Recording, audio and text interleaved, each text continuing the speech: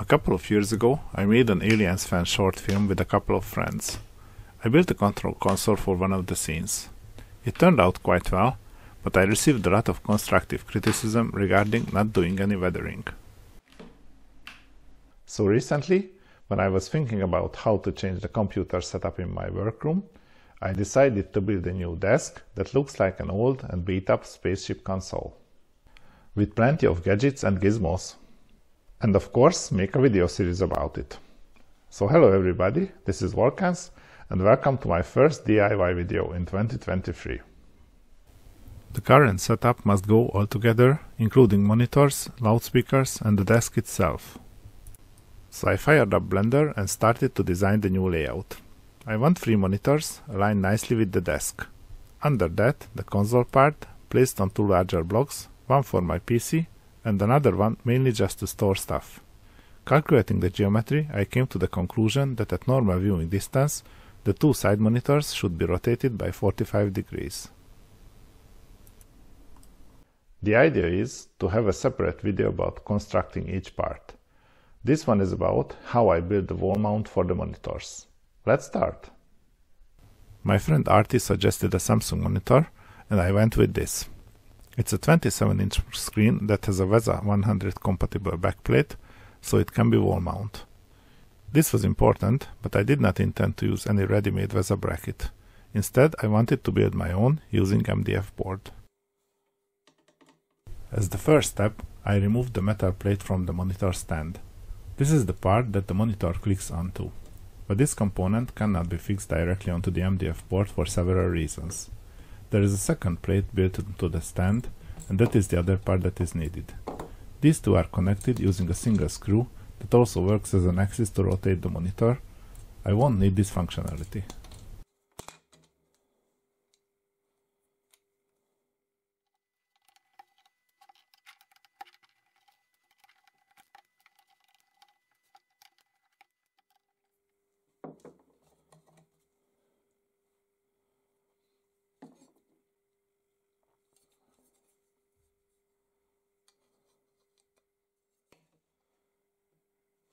Each of these metal plates will be fixed to an MDF square about 10 by 10 cm.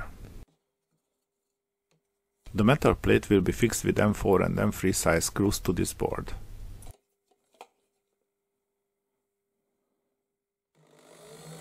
I used a large diameter drill to create a blind hole that the large central screw sinks into.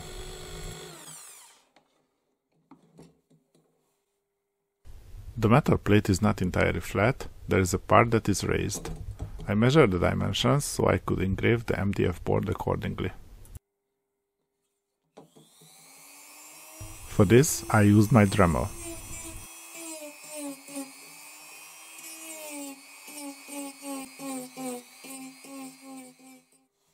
Next, I marked the exact position of the holes. Considering the weight of the monitor, which is less than 4 kilograms, there is probably no need to drill this many, but it can help to centralize the metal plate on the MDF square. I used 4 and 3 mm bits according to the required screw sizes.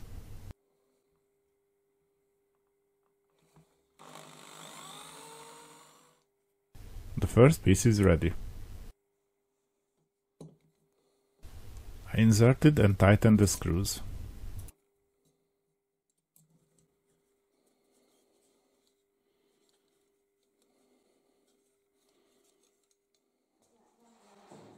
I check the result and measure the distance between the backplate and the front of the screen.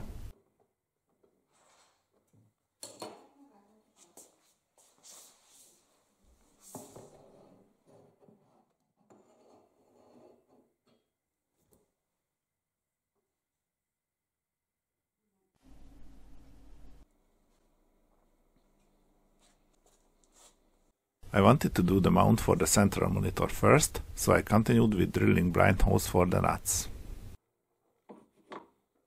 And this is the point where I made one of the mistakes during construction. Actually, several months have passed between the previous two footages. I spent that time working on higher priority projects, like my world map or the 3D chessboard. I suggest you watch those videos as well. And during that time, I forgot that I need a distancer here just to access the lock mechanism in case that I need to remove the monitor from the mount. So I just glued the MDF bracket to the main horizontal plate. The result was nearly catastrophic.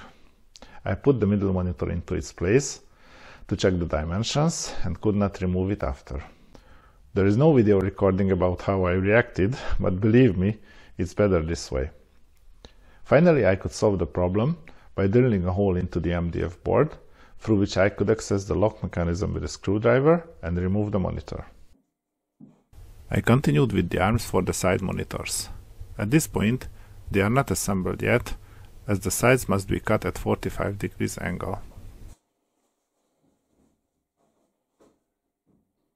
I added a few small pieces to make the arms more stable.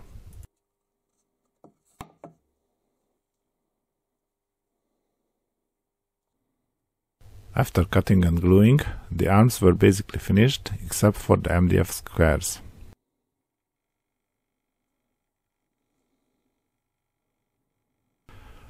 This monitor type has an external power supply. I designed a small shaft to hold the power supply modules.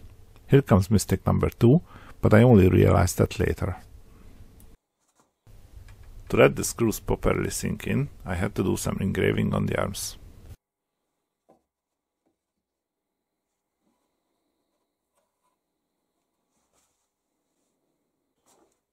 Next, I glued the MDF plates onto the arms. This is a bit tricky, but using a few clamps in a clever way, it is possible to fix the parts until the glue hardens.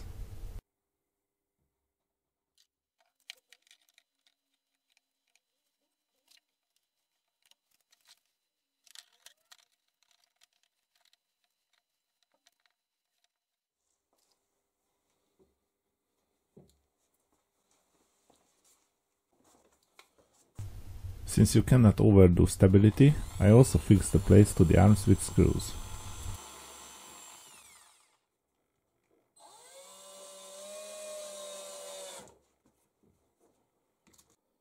So this was the state mentioned earlier, when I wrongly assumed I was almost done.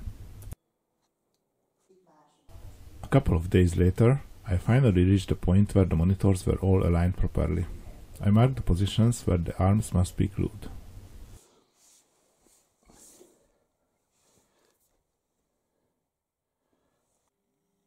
I drilled 6 holes in total for wall mounting. This is probably overkill again, but you wouldn't want to have three 27 inch monitors destroyed because of using one or two screws too few. I glued the power supply shelves onto the mount and used wood filler to get a smooth surface, especially on the edges of the MDF boards. And here comes the most favorite activity of all DIYers, sanding. Also in this shot you can observe the distancer that I created for the middle monitor.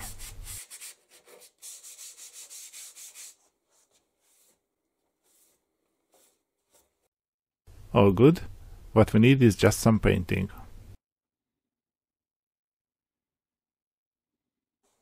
I chose a multi-purpose acrylic paint in light grey as the base color. Needless to say, you need multiple layers of paint to get a uniform surface. Using an airbrush would probably give a more smooth paint surface, but with my small airbrushes it would take ages. Also, a less perfect paint job will make the overall worn look more believable. All the wall mount holes have been drilled, it's time to install everything. As predicted, just after installing two screws, the whole mount felt stable so wall fixing is probably at least three times oversized.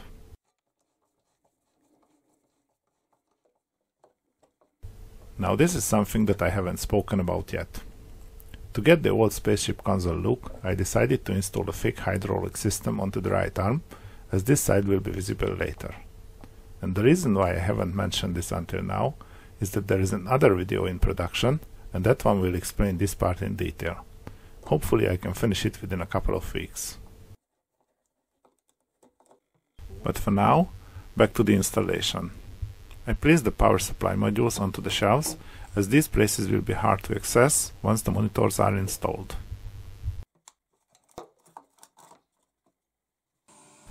And here comes realization number two.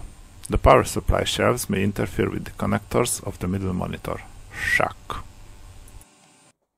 As it turned out, it was not the connectors that caused the problem, but the back of the monitor itself. I had to cut off the front plate of the power supply shelf for the monitor to fit.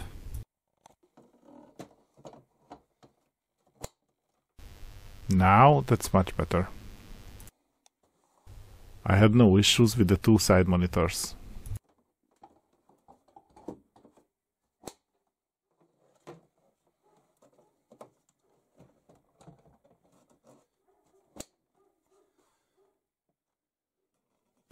All up and running. Previously I had 1 time Full HD resolution, now I have 3 times QHD, which means more than 5 times more pixels. Yes! And it certainly has that rundown spaceship look. Well, the monitors may need some weathering, but I don't want to do this. At least not during the warranty period. And that's all for today. Thanks for watching and see you soon. Until then, as always, happy crafting. Bye!